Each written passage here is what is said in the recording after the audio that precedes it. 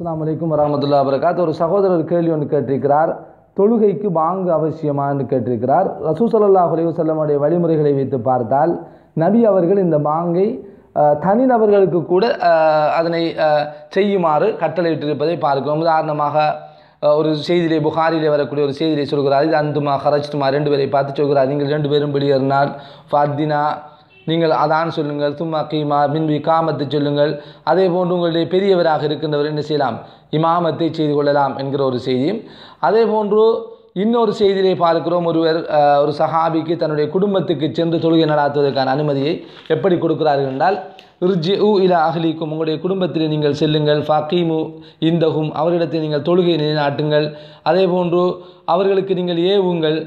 ஃபைதா ஹலரத்தி சலாத்து தொழுகை வந்துவிட்டால் வலியு அத்தின் இலக்கும் அகதுக்கும் உங்கள் யாராவது ஒருவர் அதான் சொல்லட்டும் வலி அம்முக்கும் அக் அக்பருக்கும். உங்களுடைய பெரியவர் யாராவது இருந்தால் அவர் இமாமத்தை செய்யட்டும் என்ற ஒரு செய்தி வந்து பதிவு செய்யப்பட்டிருக்கிறது. எனவே அந்த குறிப்பாக நாங்கள் தொழுகையை ஆரம்பிக்கிற போது அதான் சொல்வது காமத் சொல்வதெல்லாம் ரசூ சல்லாஹ் அலைஹி அவருடைய வழிமுறைகளில் ஒன்றாக இருப்பதை பார்க்கிறோம். ஆனால் அதான் சொல்லாவிட்டால் தொழுகை நிறைவேறாது என்பது கிடையாது. அதாவது இதை ஒரு ஃபர்லு கிஃபாயாவாக பொதுவாக இது சுட்டி காட்டப்பட்டிருப்பதை நாங்கள் பார்க்கிறோம்.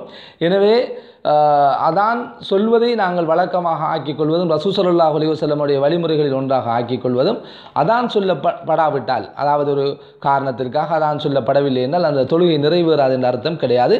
ஆனால் தொழுகை ஆரம்பிக்கின்ற போது அதான் சொல்வதுதான் ரசூசல்லா ஸல்லல்லாஹு வழிமுறை. உதாரணமாக இப்போ இரண்டு பேர் அல்லது மூன்று பேர் ஒரு இடத்திலே தொழப்போகிறார்கள் என்றால் ஒருவர் வந்து அதான் சொல்லிவிட்டு தொழுவதுதான் அது வளமையாக இருக்கிறது. அதான் ரசூ ஸல்லல்லாஹு அலைஹி அவர்கள் எல்லா இடங்களிலும் சுட்டி காட்டியிருக்கிறார் என்பதை நாங்கள் தெளிவாக புரிந்து கொள்ள